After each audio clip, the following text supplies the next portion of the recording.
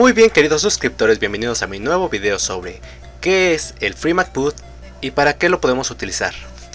Bueno, este tema lo he querido tratar porque realmente lo que estamos metidos en esto, que es la modificación del PlayStation 2, no tanto modificación física, sino más que nada explotar sus capacidades, pues tenemos en el entendido ya de qué es el FreeMac Boot y pues no nos concentramos a veces en explicarlo bien, aun cuando hay personas que llegan apenas a esto y pues obviamente son novatas y no entienden bien el concepto de qué es el FreeMacBoot.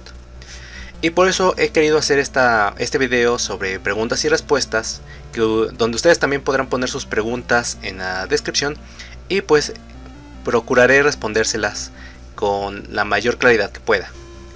¿Qué es el FreeMacBoot para empezar? Bueno, el FreeMacBoot es una modificación que te permite cargar programas eh, de extensión ELF. Esto se basa en base a un error que tiene el PlayStation 2 que permitía, bueno, que estaba planeado para permitir la actualización del sistema de PlayStation 2, pero eh, hackers se aprovecharon de esto para crear el FreeMacBoot. ¿Qué es un ELF? Un ELF son las aplicaciones que pueden ser corridas en el PlayStation 2 gracias al FreeMacBoot. Son una especie de programas que puedes instalar en tu FreeMacBoot. ¿Es permanente? No, el FreeMacBoot no es permanente, ya que se basa en esta falla que les comento sobre, sobre la actualización del sistema de PlayStation 2, que está basado en que se podía actualizar el PlayStation 2 mediante la, la memory card. Entonces el FreeMacBoot se instala en la memory card y si lo llegas a borrar pues se elimina sin dejar rastro. ¿El FreeMacBoot puede dañar mi PlayStation 2? No, el FreeMacBoot no puede dañar tu PlayStation 2, no te va a gastar más el láser, no te va a formatear, no te va a meter virus a tu PlayStation 2, así que no tienes ningún mm, problema de cual preocuparte. ¿Qué se puede hacer con el FreeMacBoot? Bueno, muchos cuando están hablando dicen, no, no, estoy, estoy corriendo juegos por USB gracias al FreeMacBoot, que no sé qué. Realmente no es que lo estén corriendo gracias al FreeMacBoot, aunque sí, pero no es que el FreeMacBoot solito los corra. El, FreeMacBoot es solo una plataforma para usar ELFs.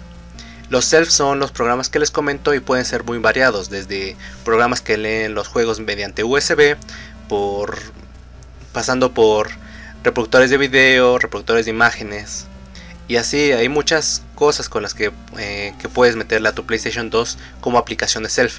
Pero en sí el FreeMac Boot solo es la plataforma para poder lanzar esas aplicaciones. La siguiente pregunta es, ¿todas las PlayStation 2 se pueden usar? ¿En todas las PlayStation 2 se puede usar el FreeMac Boot? Desgraciadamente no.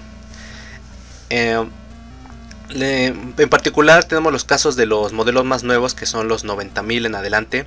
De hecho, las consolas 90.000 que salieron primero sí eran compatibles con el FreeMac Boot. Esto se debe a que no habían actualizado el software del PlayStation 2 y todavía estos primeros modelos que salieron del 90.000 todavía venían con eh, la falla de seguridad que podía permitir la instalación del FreeMac Boot. A partir de la mitad de los modelos 90.000 para adelante, que son 90.010 y así, se solucionó esa falla de seguridad y, e hizo más bien que no pudieras instalar el FreeMac Boot tan fácilmente como lo harías en otra consola. Teniendo el FreeMac Boot puedo jugar mis discos originales.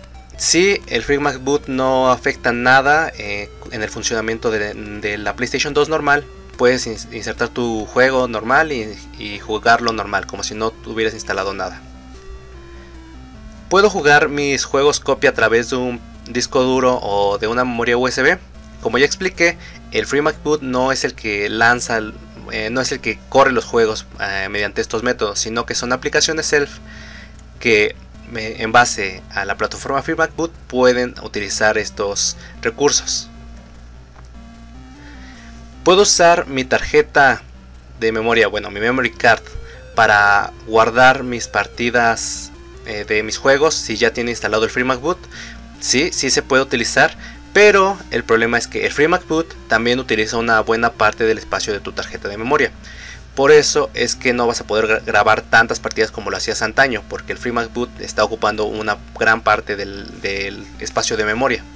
Yo recomiendo en particular usar dos memorias, una que sea para el FreeMac Boot ya que puede estar instalado en la Memory Card 2 e utilizar también o también podrías utilizar la Memory Card 1 solamente para guardar tus partidas de tus juegos. Bueno, espero que les haya gustado este pequeño video explicativo. Cualquier otra duda que les surja, por favor déjenla en comentarios, intentaré responderla lo más, lo más rápido que pueda y lo más claramente que pueda. Los saludos su amigo Dats Selenita, nos vemos en un próximo video, hasta la próxima.